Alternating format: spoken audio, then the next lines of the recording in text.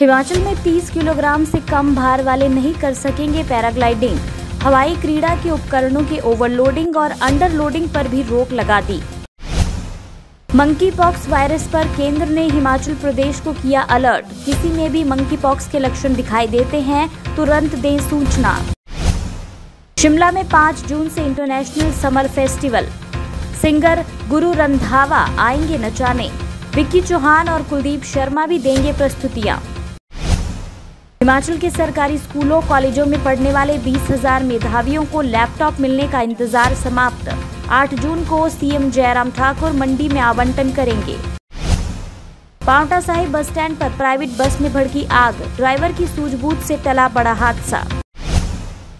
अगर आप अपने क्षेत्र की कोई समस्या या अन्य कोई खबर सरकार तक पहुंचाना चाहते हैं तो हमसे संपर्क करें। आप अपनी न्यूज़ हमें भेज सकते हैं E W N twenty four news at the rate G mail dot com या WhatsApp number eight nine eight eight seven six five two two five पर।